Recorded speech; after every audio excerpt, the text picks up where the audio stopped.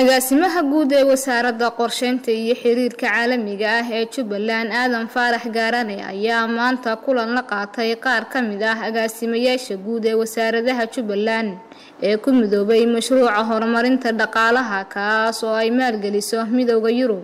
Kulankan oo ah mid saddexdii biloodba ay mar yeeshaan agaasimayaasha guud ee wasaaradaha ee ku bahoobay mashruucan ayaa waxaa diiradda lagu saarayay sidii loo xoojin lahaa wada shaqeynta mashruuca horumarinta dhaqaalaha ee lagu horumarinayo geedi socodka jubbaland agaasimaha guud ee wasaaradda qorsheynta iyo xiriirka caalamiga ee jubbaland aadan faarax gaarane oo markuu soo ilaaday kulanka la hadlay warbaahinta ayaa ka warbixiyey muhiimadda shirkan uu leeyahay.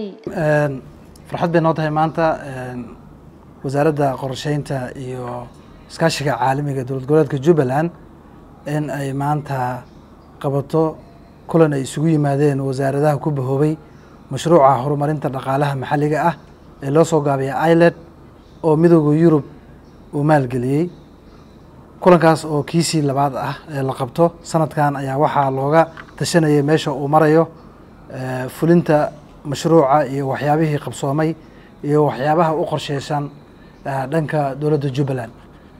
Kulankan waxaa ka soo qeyb galay dhowr wasaaradood oo ku shaqo lahaa mashruucan oo ay ka mid tahay wasaaradda howlaha guud wasaaradda beeraha xanaanada xoolaha kalluumeysiga arrimaha gudaha qorsheynta ayaa waxaa warbixin laga dhageystay wasaaradaha sida tooska oo ugu wasaaradda dhalinyarada iyo sboortiga iyo wasaaradda shaqaalahana way ka mid ahayeen dhammaan wasaaradaha waxay ka warbixiyeen mashruucan.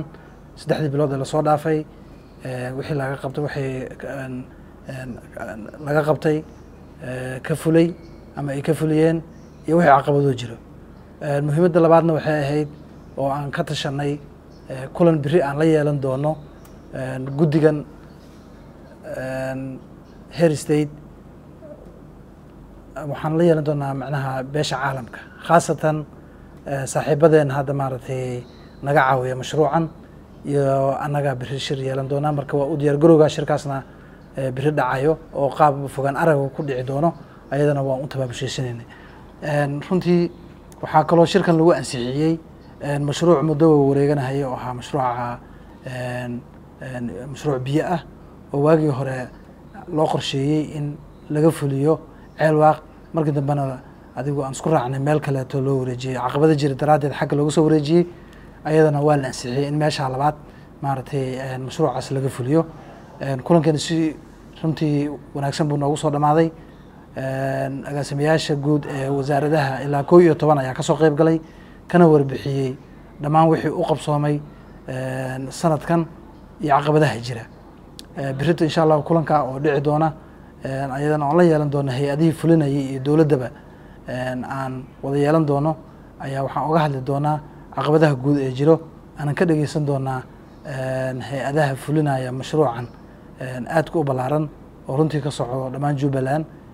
Meesha uu marhayo caqabadaha jira iyo waxa maaragtay u qorsheysan sanadkan. Raaxe maxamed cabdi raaxe rays jubbaland t v kismaayo